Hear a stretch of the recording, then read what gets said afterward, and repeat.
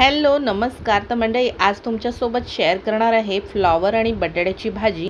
अशा प्रकारे तुम्ही फ्लॉवर बटाट्याची भाजी कधी ट्राय नसाल केलात तर एकदा नक्की ट्राय करा. खूप अप्रतिम अशी ही भाजी तयार होते आणि अगदी सोप्या पद्धतीने आहे. घरच्या साहित्यांमध्ये आहे. तर चला सुरुवात करूया आपल्या रेसिपीला सर्वप्रथम कढईमध्ये तीन चमचे तेल गरम करून घ्यायचं आहे. त्यानंतर यामध्ये काही खडे गरम मसाले त्यामध्ये एक चक्री फूल एक इंच दालचिनीचा आणि तीन चार काळी मिरी अर्धा चमचा जिरं घालून व्यवस्थित जिरं तडतडू द्यायचं त्यानंतर हिंग आणि कांदा घालून कांदा व्यवस्थित गोल्डन ब्राऊन होईपर्यंत परतून घ्यायचा आहे. त्याआधी मी यामध्ये दोन हिरव्या मिरच्या देखील घातलेल्या आहेत. उभट आकारामध्ये कट करून घेतल्या आहेत.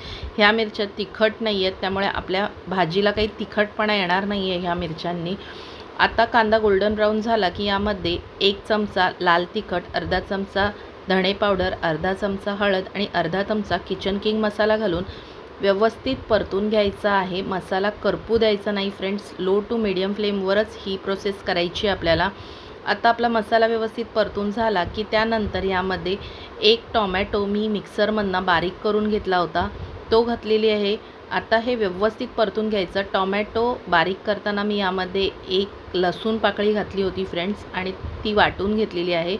आता आपल्याला तेल सुटेपर्यंत हे मिश्रण व्यवस्थित परतून घ्यायचं आहे. त्यानंतर यामध्ये मी फ्लॉवर आणि बटाटा घातलेला आहे. तर फ्लॉवर मी उभट आकारामध्ये कट करून घेतलं होतं ते घातलेलं आहे आणि बटाटा मी उकडलेला घातलेला आहे. तुम्ही कच्चा देखील घालू शकता पण उकडलेल्या बटाट्याने जी ग्रेव्ही तयार होते ना ती खूप अप्रतिम लागते.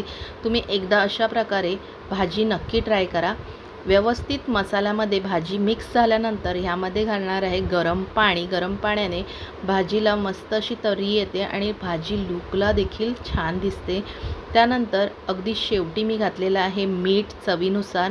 आता सर्व मिश्रण एकत्र करून मी झाकण ठेवणार आहे. झाकणावरती मी पाणी ठेवलेलं आहे आणि आता दहा ते पंधरा मिनटं आपल्याला वाफेवर ही भाजी शिजवायची आहे म्हणजे लो टू मिडियमवर फ्लेमवरती.